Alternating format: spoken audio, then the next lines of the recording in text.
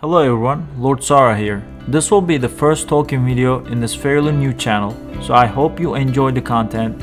If so, please like and subscribe, and I will also like to hear your feedback and comments in the comment section below. There are so many great players in ESO, so many meta builds, and really good content creators. As myself have no claim that I will be creating the best meta builds, however, I will try to deliver some cool, somewhat of meta yet enjoyable ideas you can try in Elder Scrolls Online. As this is my first talking video, I have decided to make a video on a possible spammable that can be used on a Necromancer, Venom Skull. I'm a firm believer that classes should have more class identity, so I did not want to use this swing or rending slashes and as a necromancer, I think you should throw skulls at people. Yes, it might not be the most optimal way to play it, however, I think as an MMORPG player, it makes the game a bit more fun, and why not use it if it possibly works. I think the idea of uh, Venom Skull being disregarded so quickly as a spammable is that the skill animation is very wonky especially when it's used as a range ability. When it's actually used as a melee ability, the animation does not feel that off. For example, to just to demonstrate, when you're far away from the target, it does have a significant amount of travel time, and which makes the ability not be able to land people roll dodging or blocking very often. If it's actually approached as a melee ability, you will see that the skill is actually hitting quite fast. The fact that in this build, you will need to play in the melee range. So when you do play in the melee range, anyways with the Dawnbreaker and your Boneyard, Venom Skull does not become a bad option.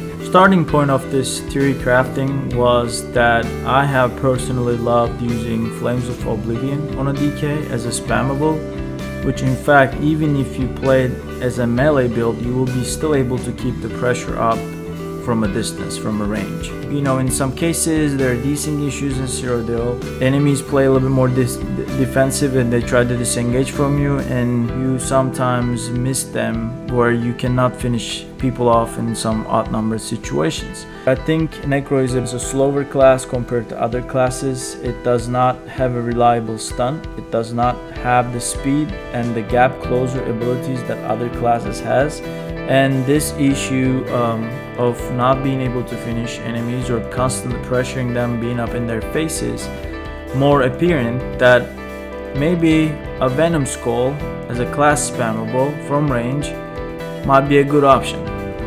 Another thing I like to point out is that the Death Knell passive ability in Necromancer. Whenever you have Venom Skull, Blast Bones, Avid Boneyard slotted in your bar, you get extra 24% crit chance when the enemy is under 25%. Which in some cases, this skill, the Venom Skull, will work as an execute because they will try to disengage. But when you have this passive and the Venom Skull active, you do get actually um, quite the finishing touch that Necromancer lacks. To clarify, it's nowhere near a best in slot ability. It's not. It's definitely not better than Dizzy Swing. It's definitely not better than rending slashes but I wanted to test it out to see because the common conception of the skill was that it is not usable. Even though Venom Skull is not as strong as Dizzying Swing, the fact that Dizzying Swing is very clunky open world and it's very slow and there's a cast time, Venom Skull is not a bad uh, spammable compared to Dizzying Swing. Yes, you won't stun the enemy, you won't give them a snare, However, uh, you'll be able to pressure people off in the range and um, believe it or not, actually the tooltip is not that different. Uh, I have checked in um, many times in CMX that actually in my test Venom Skull hit almost as hard as Dizzying Swing. Especially currently I'm running Mechanical Acuity or I'm running a really high crit chance build. When the Venom Skull actually crits, it does hit quite hard. The Scythe was another spammable that I was previously using in my build videos. However, the problem with Scythe is that tooltip is really low and it does no damage whatsoever. One thing that Scythe was really good at was the off balance and the proccing status effect, which you would get advantage of the Occult Overload. However, Occult Overload is getting nerfed, which makes Scythe not as good of an option during the next patch. When it comes to off balance is that you would be able to land your Boneyard Synergy a little bit easier since you would be able to stun the enemy outside of your ultimate.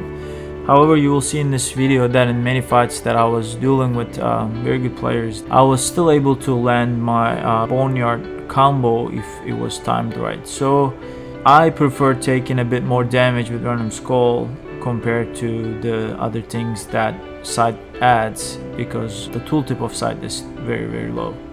I hope this video was somewhat helpful. If you have any feedback or questions, please reach out to me or post your comments in the comment section below.